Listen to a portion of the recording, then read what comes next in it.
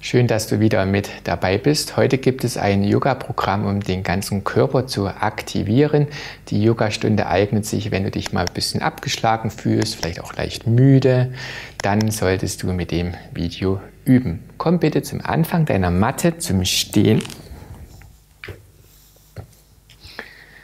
Du bringst die Hände vor deinem Herzen zusammen, schließ für einen Moment die Augen und nimm dich jetzt in dem Moment wahr am Anfang der Yoga-Einheit und erlaube es dir, den ganzen Körper zu aktivieren, die Energie durch den Körper zu schicken.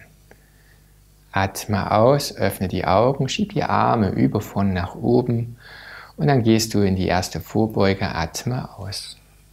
Der Rücken wird lang, einatmen, rechts, links, nach hinten in den herabschauenden Hund und hier bleibst du für einen Moment. Kannst mal die Augen schließen. Nimm dich wahr über die Hände, über die Füße. Und dann beginnst du ganz leicht mal die Beine abwechselnd zu beugen, die Fersen in den Boden zu drücken, den Körper zu aktivieren, jetzt die Beinrückseiten. Und dann heb mal beide Fersen an Lass beide Fersen wieder sinken. Nochmal wiederholen. Fersen anheben. Sinken lassen. Lass die Fersen sinken und löse mal die Zehen. Probier das mal. Spreiz die Zehen. Bring eine Aktivität bis in die Zehenspitzen zurück. Super.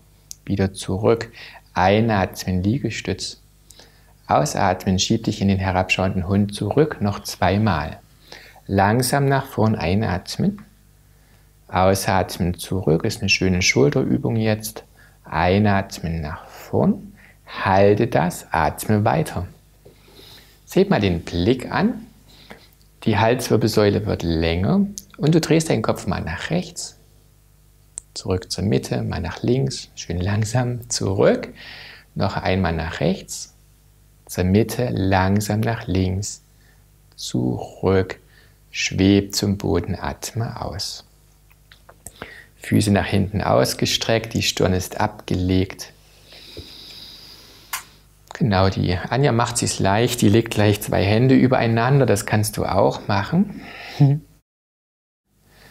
Die Schultern entspannt. Und jetzt kannst du dir schon über die Atmung die Kraft in den Rücken holen. Stell dir das vor, wie der Atem den ganzen Rücken ausfüllt.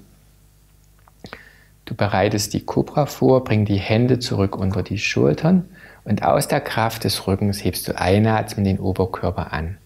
Bleib hier für einen Moment, löse mal die Hände, dreh die Handflächen Richtung Decke, heb die Schultern höher.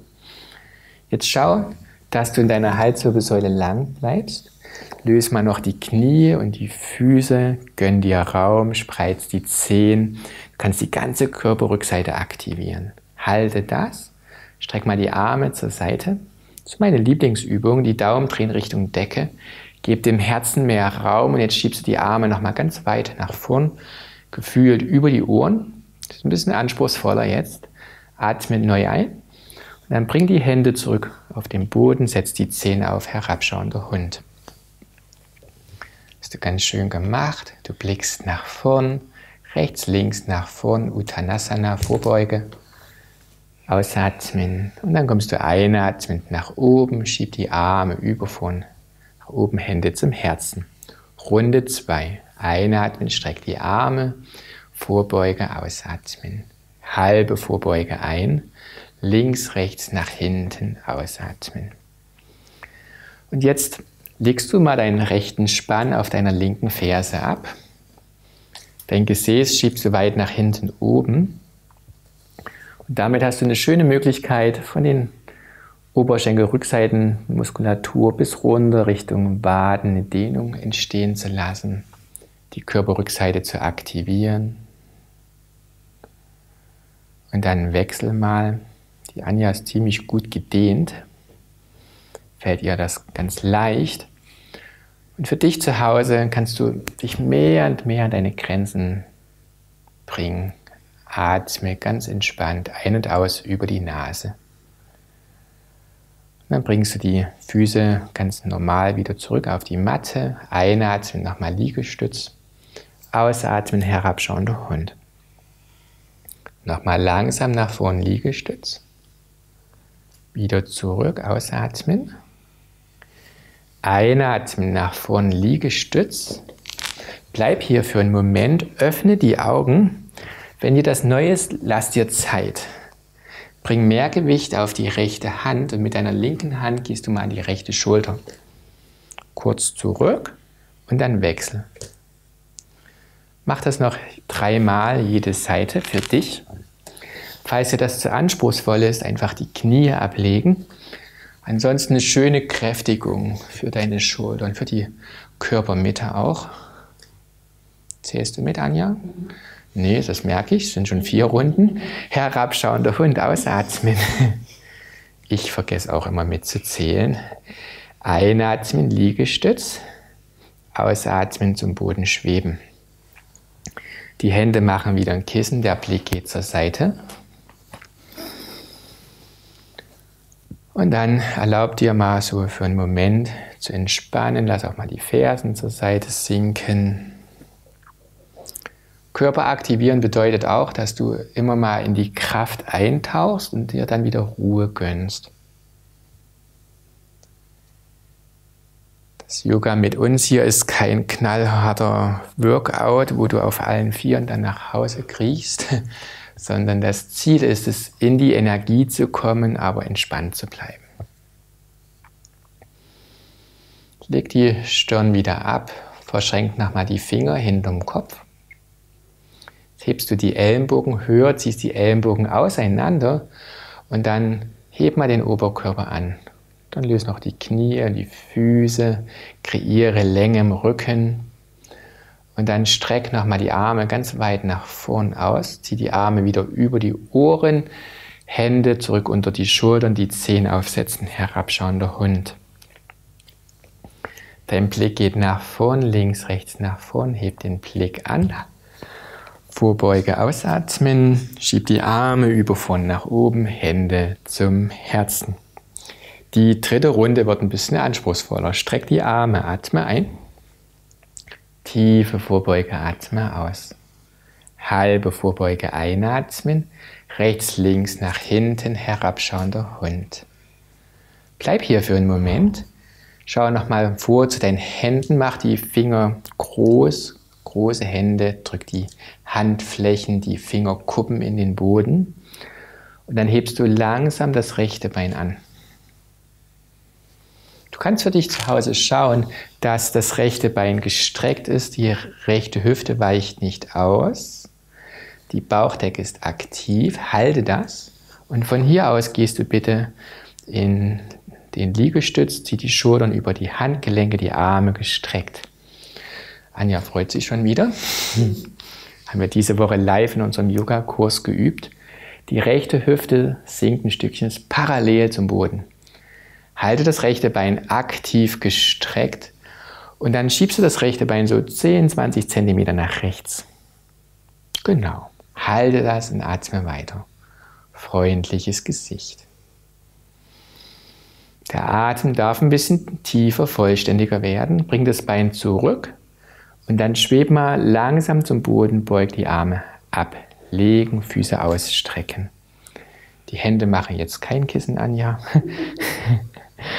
Cobra soll eine aktivierende Sequenz werden, herabschauender Hund. Und dann heben wir das linke Bein langsam an. Du atmest dir das höher Drehst den linken Oberschenkel leicht nach innen, damit sinkt die Hüfte so ein kleines Stückchen. Ist gut ausgerichtet. Und dann schieb mal die Ballen und die Fersen weit nach hinten. Hol dir die Kraft. Genau, weiter atmen. Liegestütz. Schultern über die Handgelenke. Die Arme gestreckt, dein Rücken ist voll, dein Bauch ist ganz aktiv. Und von hier aus schiebst du das linke Bein so ein Stückchen, so 10, 20 Zentimeter nach außen weiter atmen. Körpermitte, die darf arbeiten jetzt. Vielleicht arbeitet auch dein Kopf.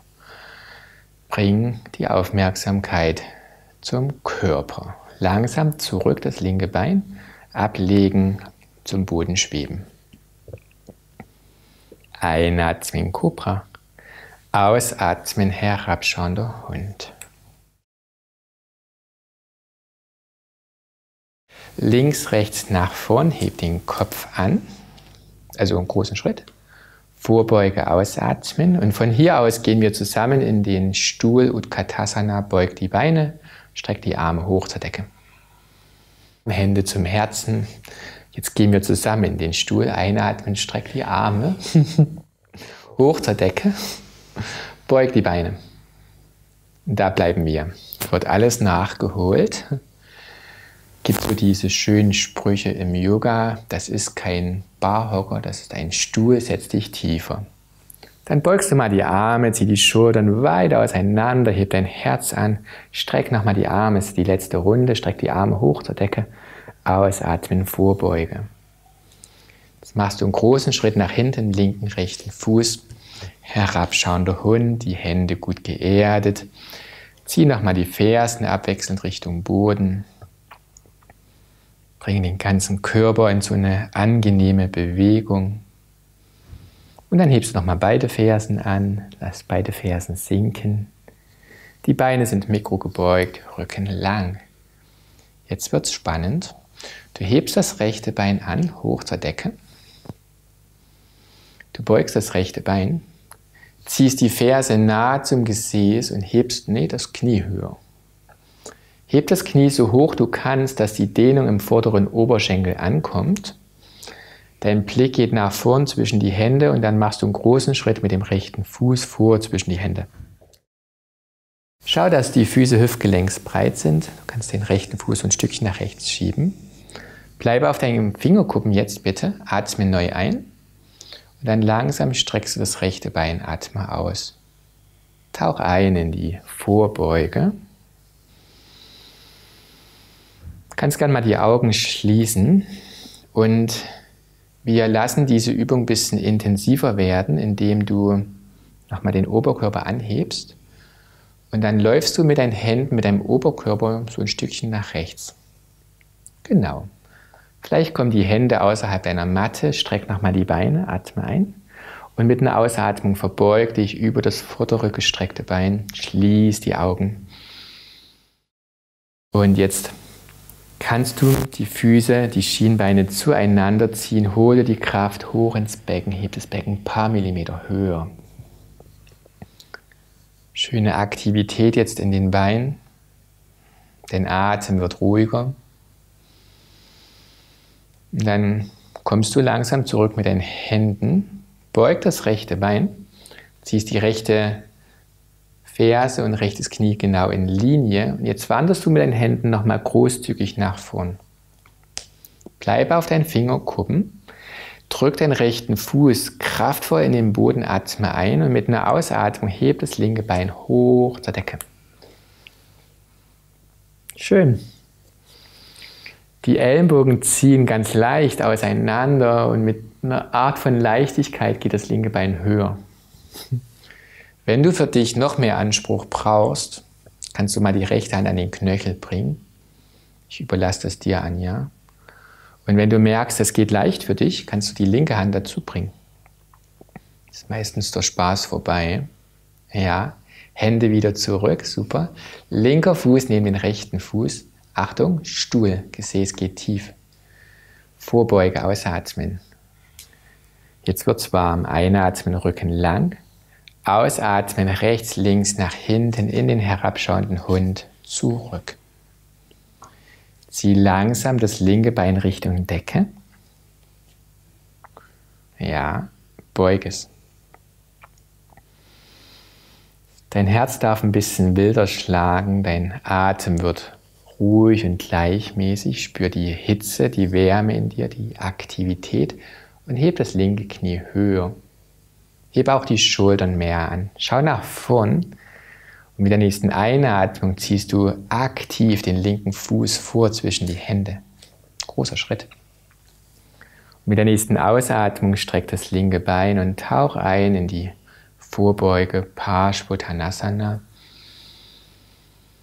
Finde die Ruhe in der Aktivität, die Ruhe im Atem. Dann lass auch all die unnötigen Bewegungen los. Du kannst jetzt mit deinen Händen ein Stückchen weiter nach links laufen, sodass du in der Vorbeuge auch eine zusätzliche Seitbeuge integrierst. Nimm den Unterschied wahr. Finde die Stabilität im Becken in deiner Mitte und von dort aus lass die Dehnung geschehen.